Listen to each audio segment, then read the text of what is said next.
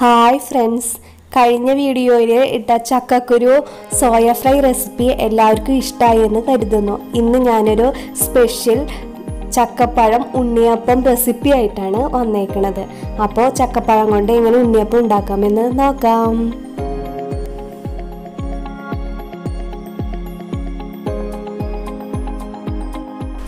ആദ്യം നമുക്ക് ശർക്കരപ്പാവ് ഉണ്ടാക്കാം. മുന്നൂറ്റമ്പത് ശർക്കരയാണ് ഞാൻ എടുത്തേക്കുന്നത് അങ്ങനെ നമ്മുടെ ശർക്കര പാവ് റെഡിയാണ്. ഇത് ചൂടാറാൻ വെക്കാം.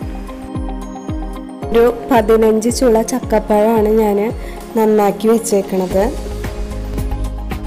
ചക്കപ്പഴം നമുക്ക് മിക്സി ജാറിലിട്ടൊന്ന് അരച്ചെടുക്കണം. നമ്മുടെ ശർക്കരപ്പാവ് ചൂടാറാൻ വെച്ചിട്ടില്ലേ? അതിൽ ചെറിയ ചൂടാ പാടുള്ളൂ. അത് നമുക്ക് പകുതി എടുത്തിട്ടതൊന്ന് അരച്ചെടുക്കാം. അങ്ങനെ നമ്മുടെ ചക്കപ്പഴം അരച്ചെടുത്തിട്ടുണ്ട്. ഇതിലേക്ക് ഒരു അഞ്ച് ഏലക്കായും കാൽ ടീസ്പൂൺ ജീരകം ഇട്ട് കൊടുക്കുക. മൂന്ന് ബൗൾ അരിപ്പൊടി അതായത് മുന്നൂറ് ഗ്രാം അരിപ്പൊടി. അതിനോടൊപ്പം തന്നെ ഇരുന്നൂറ് ഗ്രാം ഗോതമ്പ് പൊടി അതായത് രണ്ട് ബൗൾ ഗോതമ്പ് പൊടിയും കൂടി മിക്സ് ചെയ്യണം.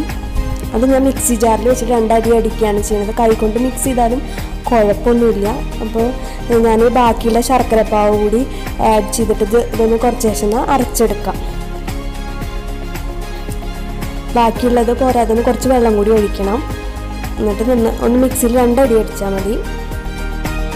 മിക്സി ജാറിൽ ഞാനിത് അരച്ച് വെച്ചിട്ടുണ്ട്. ഇത് ഇനി വേറൊരു ബൗളിലേക്ക് മാറ്റാം. ഈ ശർക്കരപ്പാവ് കൂടാതെ കുറച്ച് വെള്ളം കൂടി ഞാൻ ആഡ് ചെയ്തിട്ടുണ്ട്. ഈ ഒരു കൺസിസ്റ്റൻസി ആണ് കിട്ടേണ്ടത്.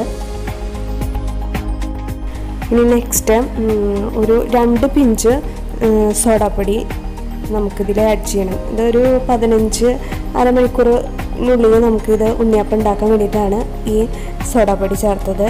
ഇത് ഓപ്ഷണലാണ് ഒരു നാല് മണിക്കൂർ പൊന്താൻ വെച്ചാൽ ഈ സോഡാപ്പൊടി ചേർക്കേണ്ട ആവശ്യമില്ല. അരിച്ചെടുത്ത് വെച്ച ഒരു ടീസ്പൂൺ എള്ള് ഇതിൽ ആഡ് ചെയ്യണം.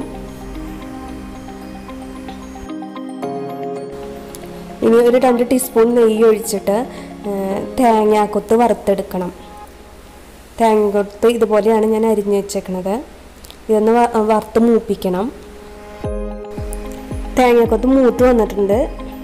പിച്ച തേങ്ങക്കൊത്ത് നമുക്കിതിൽ ആഡ് ചെയ്യാം. ഉണ്ണിപ്പത്തട്ട് വെച്ച് നമുക്ക് എണ്ണ ഒഴിച്ചു കൊടുക്കാം. എണ്ണ ചൂടായി കഴിഞ്ഞാൽ നമുക്ക് ലോ ഫ്ലെയിമിൽ വെച്ചിട്ടാണ് മാവ് ഒഴിച്ചു കൊടുക്കേണ്ടത്. മീഡിയം ഫ്ലെയിമിൽ വെച്ചിട്ട് ഇത് വേവിക്കണം. ചക്ക ചെയ്യാൻ അടി പിടിക്കാനുള്ള ചാൻസ് ഉണ്ട്. അതുകൊണ്ട് എപ്പോഴും നമ്മൾ മാവ് ഒഴിച്ചു കൊടുക്കുമ്പോൾ ലോ ഫ്ലെയിമിൽ വെക്കുക. മീഡിയം ഫ്ലെയിമിൽ വെച്ചിട്ട് നമ്മളത് വറുത്ത് കോരുക.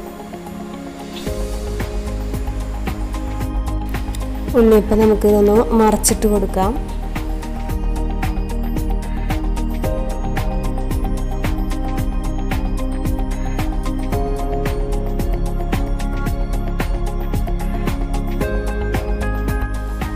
അങ്ങനെ നമ്മുടെ വളരെ ടേസ്റ്റി ആയിട്ടുള്ള ചക്കപ്പഴം കൊണ്ടുള്ള ഉണ്ണിയപ്പം റെഡിയാണ് അപ്പോൾ പുതിയ കൂട്ടുകാരാണെങ്കിൽ സബ്സ്ക്രൈബ് ചെയ്യാൻ മറക്കല്ലേ കേട്ടോ ആ ബെല്ലൈക്കൺ കൂടി ഒന്ന് പ്രസ് ചെയ്യുമോ ഓക്കെ ബൈ